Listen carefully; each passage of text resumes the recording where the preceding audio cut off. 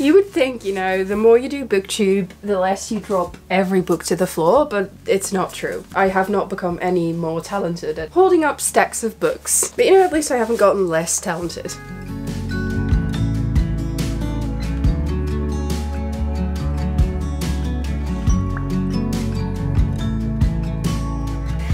Everybody and welcome or welcome back to my channel. My name's Leora and I talk on here about books, writing and sometimes other stuff as well. I'm so happy you're here today because this is a very exciting video. It's something I've talked about at length but I haven't really filmed yet and it's just really nice to be actually filming it right now. I've been really getting into cozy fantasy this last half year, I would say. I think I started over the summer. Um, but it is definitely a genre that is really nice to read during the winter and during like the colder months to cozy up a little bit. I know that we're almost nearing spring already now, which is uh, so excited and then I can be my cottagecore girly self again.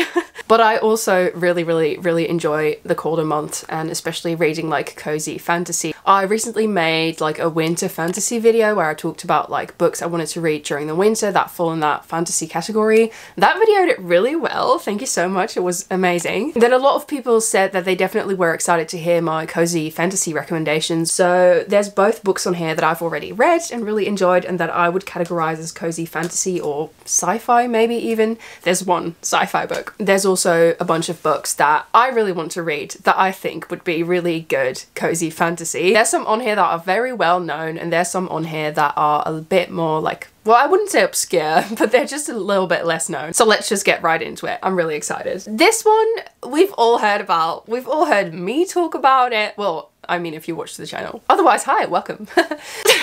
I'm sorry, it's just if you make a video about cozy fantasy, you have to mention legends and lattes, and if you don't, they'll send you to booktube prison. So, you know, and I don't want to go there. I'm sorry, I'm not funny, I know. This is a book that loads of people have talked about on booktube, on the internet. It's very popular right now and it's one of my favorites as well. It's just a cozy fantasy that was so silly and so much fun and I think it's perfect for this list and I had to mention it. There's also going to be a part two. I think it's called Book, Bookstores and Bone Dust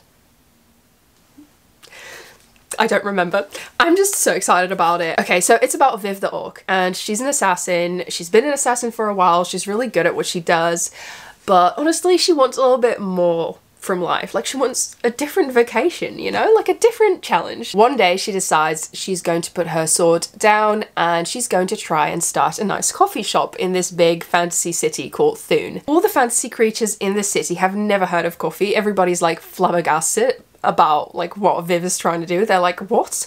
Bean soup? Why would I want bean water? I don't get it. She makes sure that everybody gets to know the joys of lattes and cappuccinos and it's just so nice and so cozy and like nothing really happens but like in a really good way and there's definitely a small fantasy plot in there I wasn't too bothered about that. I was like, you know, I guess Travis Baldree knew there had to be some sort of plot, but I mostly just enjoyed like the heartwarming vibes and the comforting vibes and the fact that there wasn't like big stakes and like a heavy fantasy battle or war and I just thought that was really nice. There's also a succubus in this story, there's a little queer love storyline, there's this sort of magical mouse creature. I don't know, I just have to show you guys the 90s original cover art. It's not from the 90s just to be clear but like it gives me the 90s vibes. I'm just really happy I got to read this book and I think this is what mainly like made me go, whoa, I want to read a lot more of this genre because I really enjoy it. And I think I've always sort of gravitated towards books similar like this, but I've just never categorized them as cozy fantasy in my head because I didn't really realize this was a whole thing. I do definitely recommend if you start reading this book, make sure you have a nice drink you need to have a latte present near you, otherwise you'll go wild because you'll really want a latte because it's just so good. And the same goes for pastries. You need cinnamon rolls while reading this. Just trust me, trust me on this one. This is my last note on this, but the audiobook is read by Travis Baldree, who is an audiobook narrator by vocation, it's his job, and he's really, really good. So highly recommend the audiobook as well. Okay, I think I'm just gonna like sort of switch up between books I've read and books I still want to read. So the next one is one I have not read yet, and it's so cute and tiny, just look at this. I remember I ordered this and it came like in a really small envelope, and I was like, wait, is the book in there? And then it was. Great times. I don't know why I told you that. So this is In the Company of Witches by Auralee Wallace. It's an Evenfall Witches B&B mystery. Just the cover, like, look how cozy that is. So it says on the back, this is the perfect blend of mystery, magic, and mayhem. When a guest dies in the B&B, she helps her aunt run. A young witch must rely on some good old-fashioned investigating to clear her aunt's name in this magical and charming new cozy mystery. So this officially falls under the cozy mystery genre, but I think especially when it's fantasy as well, you know, there's a lot of overlap there. It's set in a sleepy New England town. There's a family of witches called the Warren Witches, and this lady dies at the inn, and one of the main characters, Aunt, Aunt Nora, is very suspect, and like everybody's suspecting her. And then Bryn, our main character, sets out to prove that her aunt had nothing to do with this and she did not kill Constance. And one of the things I'm most excited about when it comes to this book is that Bryn is a witch who can communicate with ghosts and I'm really into ghost stories. I just really enjoy a good ghost story and like a main character who can talk to ghosts. I just think it's so fascinating and it's something I always really enjoy because it also tends to sort of blend like the past and the present, especially if they talk to like old-timey ghosts. It's so much fun. I don't know why I like it that much. Um, I'm not sure if she's going to commune with old-timey ghosts, but I do know that she can see ghosts. So really excited about this one. Then we're following up with one I have read. This is A Marvelous Light by Freya Marske. Do have to say, had a bit of mixed feelings about this one. In the beginning, I was super, super, super, super into it. I enjoyed this so much. I was just like sort of surprised by how much I loved it, started tabbing it like a maniac. But then as you can see, I sort of quit tabbing it. Um, and that's because I started enjoying it less, so I wasn't as like, I need to tab this sentence, I need to tab this bit. Um, I wasn't like that as much anymore. But I am definitely putting it on this list because it is a perfect cozy fantasy and it's very funny as well. This book does one of the things I enjoy most in fantasy, which is magical bureaucracy. and I'm not entirely sure why I like that as much as I do, but I just think there's something so funny about combining such an everyday, mundane, stupid thing really bureaucracy what a horrible thing and then combining that with something as wild and like magical as actual magic it's just so good. So we follow Robin Blythe and his parents have just died. He's in a bit of a rough spot to be honest. He's trying to keep up the estate, trying to take care of his sister and one of his parents' enemies actually sets him up with a job and it's like this sort of job for somebody they want out of the way. You know, it's like, oh, you go and do, do that. We don't care about that job. But then as Robin arrives at his first day for the job, it turns out he's going to be acting as a parliamentary liaison to a magical society and it's this hidden society he didn't know about and he you know he gets involved he also gets cursed accidentally along the way and then him and his partner he's assigned to uh, edwin Courcey they have to try and lift the curse and his predecessor who was the parliamentary liaison before him has also gone mysteriously missing lots of things going on, lots of intrigue. This book is filled with like sort of them drinking tea and gallivanting around Victorian London. Wait, is it set in London or did I just sort of make that up? I feel like it is, but I'm not sure. Anyway, they go through like beautiful gardens, they go to tea parties, they do some boating out on a lake, they go to beautiful hidden bookstores and like secret passageways in the old house, and it's just so much cozy vibes, really lovely. It's quite smutty as well, which kind of surprised me. The queer romance is lovely though, it's like very heartwarming. The thing with this book though is that the plot was intriguing as well, so I was involved with that as well, and the plot kind of fell flat for me. And I think if I'd gone more into it with the idea of I'm gonna enjoy these cozy vibes, then maybe I wouldn't be as bothered, but I still highly recommend it and I really enjoyed it. Next up on the list, I have literally three books by the same author which is kind of silly, but I just feel like they all have to be mentioned. Um, I have only read one of them, or well, I'm currently reading one of them, but some of my friends have read the other ones, and I'm just pretty sure they'd go really well on this list, and they are books I really want to read as well. So first we have A Wizard's Guide to Defensive Baking by T. Kingfisher. T. Kingfisher is quickly becoming one of my new favourite authors, which I did not see coming. This story is about Mona, who lives in this big fantasy city with her aunt, and she is sort of a, an apprentice in a bakery. And in this world, we have different people with magical powers, and some of the folk have like sort of small magic, um, and Mona as well. So what Mona can do is she can do magic with dough, and so she's really helpful in a bakery. You know, she can do lots of things. She can like make gingerbread men come alive and grab things for her, stuff like that. But it's it's small, it's tiny, it's like sort of domestic magic, I guess. And then one day, a murder is committed in the bakery and they suspect Mona. And Mona runs um, and she's being chased. And there's also One of my favourite things in this book so far is that there's a sourdough starter called Bob, who Mona accidentally made come alive when she was a child and very stressed out. And she poured like all her magic into Bob, and so now Bob is this sort of a monster that lives in the basement, and that is the sourdough starter. And it's just so funny. And I think that really encapsulates the energy of this book really well. It definitely feels like it's written for a bit of a younger audience here and there. So if you're you have like problems with that, then maybe don't pick it up. But it's not like they're talking down to you. And I've just really, really, really, really enjoyed this so far. I'm almost at the end of it and it's just so cute and cozy and like bakery vibes and you know, there's some really fun, weird scenes with Mona's magic because it's such a random form of magic. Then the next two books from T. Kingfisher I wanted to talk about are books I have not read myself. So first we have Nettle and Bone, which my best friend has recently read. She had like mixed opinions about it. She wasn't totally sure, I believe, whether she loved it or like it. I just think she liked it, but it wasn't like her favorite thing. But one of the things that I really still remember about her talking about this book is that there's apparently like this sort of demon possessed chicken in it, which just really got to me. I was like, wow, I'd love to read a book about a demon possessed chicken. Let me read a bit of the blurb to you because this possessed chicken story is obviously getting you nowhere. After years of seeing her sisters suffer at the hands of an abusive prince, Mara, the shy, convent-raised, third-born daughter, has finally realised that no one is coming to their rescue. No one except for Mara herself. Seeking help from a powerful grave witch, Mara is offered the tools to kill a prince if she can complete three impossible tasks. Okay, definitely sounds like a fun fantasy plot. I'm just really excited to go and pick this up. I think I'm just gonna borrow it from my friend uh, or maybe listen to the audiobook because I've really enjoyed a lot of T. Kingfisher's work on audiobook so far. I think especially when it comes to cozy fantasy, it really adds to the cozy vibe for me to be listening to it and then doing something cozy. Like, I don't know, like painting or having a nice cup of tea, you know, or like sort of doing a half nap where you half listen, half lay on the couch. then this one is one I'm particularly very, very excited about to finally go read it, and that is Swordheart by T. Kingfisher.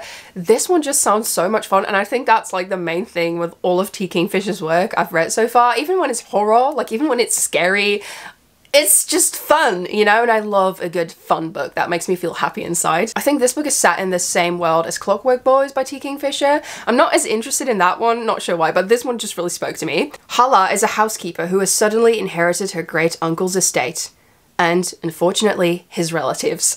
Sarkis is an immortal swordsman trapped in a prison of enchanted steel. When Hala draws the sword that imprisons him, Sarkis finds himself attempting to defend his new wielder against everything from bandits and roving inquisitors to her own in-laws. And the sword itself may prove to be the greatest threat of all. I just think this one is going to be so fun, and I don't have much more to say about it other than I really want to pick it up soon. By the way, if you've read any of the books that are on like my to still read list, I'd love to hear your thoughts and opinions about them in the comments down below. The next book on my list is one of my favorite books of all time, and it is not like your standard cozy fantasy, but I still feel like it really fits the genre really well, the idea of it. And that of course is Lonely Castle in the Mirror by Mizuki Tsujimura. I just feel like if a fairy tale book and a Studio Ghibli film had a child together, it would be this book, but then also with discussions of mental health. So the story is set in Tokyo and we follow a young girl who basically discovers that there's a door to another world in her mirror and I just love the whole door to another world thing. And she's basically at home from school and every day when she's supposed to go to school she doesn't go to school because she's like struggling with bullying and mental health issues. She goes through the mirror and into this big magical castle where there's other teenagers that are also from Tokyo that also don't go to school for each of their own respective reasons. In this castle they sort of get to do this challenge but they mostly just hang out and get to know each other and have these sort of interpersonal relationships. And it's very coming of age. It discusses a lot of mental health and like typical teenage problems. It's really well done. It's a bit slow here and there. If you want to read something for like a grand plot, then don't pick this one up. But if you want to read something that has cozy vibes and that's just really magical and really sort of slow going, like, you know, like a nice creek, it's like sort of going. it's just really lovely and wonderful. I read it over the summer, like during picnics, you know, sitting outside and it was just such a good time highly recommend. Then we have That Time I Got Drunk and Saved a Demon by Kimberly Lemming. I think this is officially more sort of a cozy fantasy rom-com. I know it's a rom-com, but I still really wanted to mention it. This is one of those books I randomly found on Scribd. Um, that's an app I use to read and I was like, hmm, this is either going to be really fun and really good or like really, really bad. And then I looked it up on Goodreads and it has a 4.16 rating, which is really high. So I immediately put it on the like, I want to read this list. I'll read a little bit of the blurb to you. All I wanted to do was live my life in peace, maybe get a cat, expand my spice farm, really anything that doesn't involve going on a quest where an orc might rip my face off. But they say the goddess has favourites. If so, I'm clearly not one of them. After saving the demon Felon in a wine-drunk stupor, all he wanted to do was kill an evil witch enslaving his people. I mean, I get it, don't get me wrong, but he's dragging me along for the ride and I'm kind of peeved about it. On the bright side, he keeps burning off his shirts.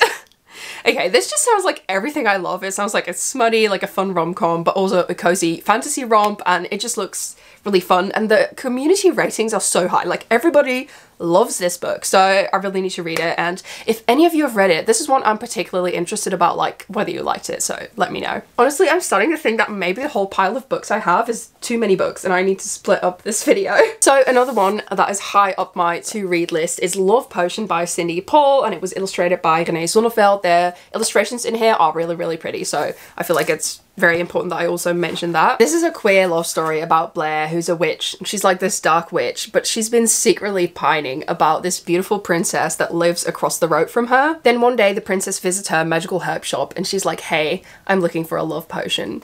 And that's where our romance and story starts. This book is a sort of twisted fairy tale. It's queer.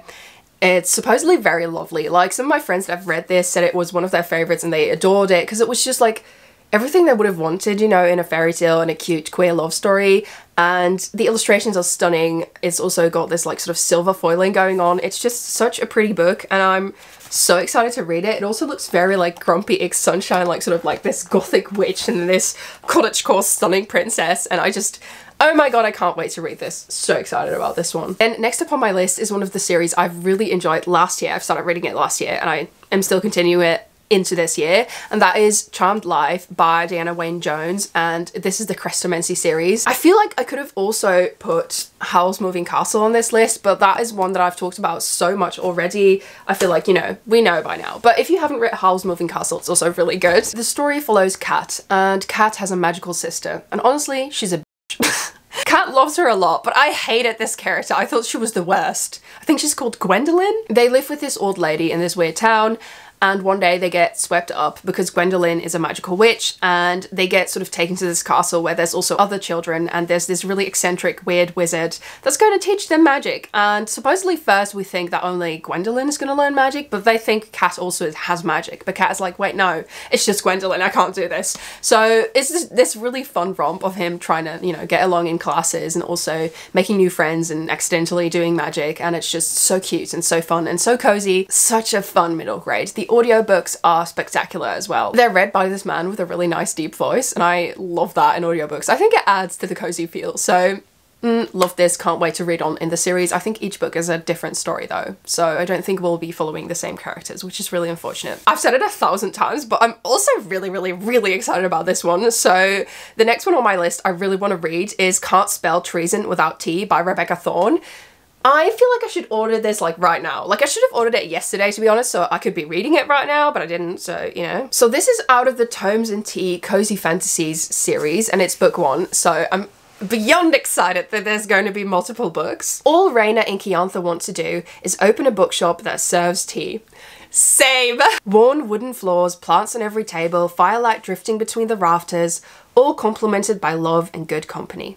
Thing is, Reyna works as one of the Queen's private guards, and Kiantha is the most powerful mage in existence.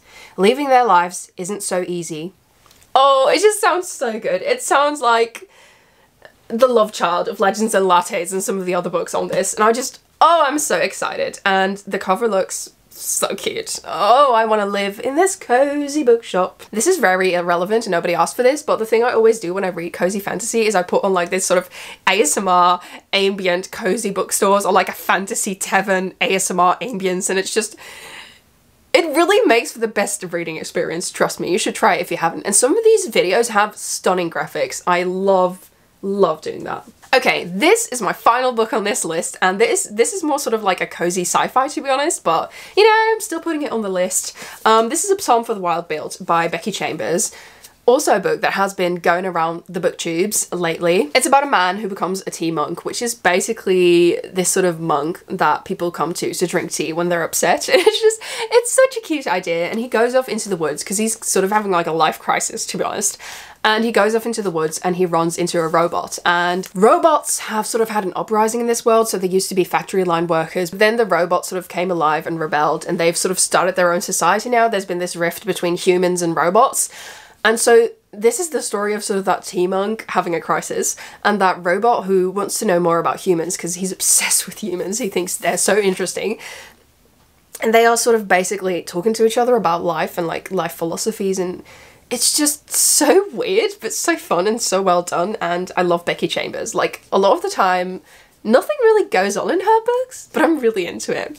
Um, it's a novella. It was really short. So if you're not into novellas, then maybe don't pick this one up because, you know, it's obviously built sort of different than a regular book because there's less time. But I thought it was amazing and so cozy and like, especially some of the descriptions of where they are are stunning and really give you all the cozy vibes. Okay, those were most of the books on my list. There's still a couple more, but I feel like this video is plenty long as it is. Okay, so those were all of the cozy fantasy book recommendations and cozy fantasy books that are still on my list that I really want to read. I really hope this was a helpful video and you guys got some wonderful recommendations out of it. Let me know in the comments down below what is your favourite cozy fantasy book if you have any. And other than that, I hope you have a lovely day. Thank you so much for being here on my channel. Don't forget to subscribe, like, and leave a comment letting me know what you thought of the video. I always feel like such an influencer when I say that. And yeah, I hope you have a lovely day and that I'll see you next time in my next video. Bye!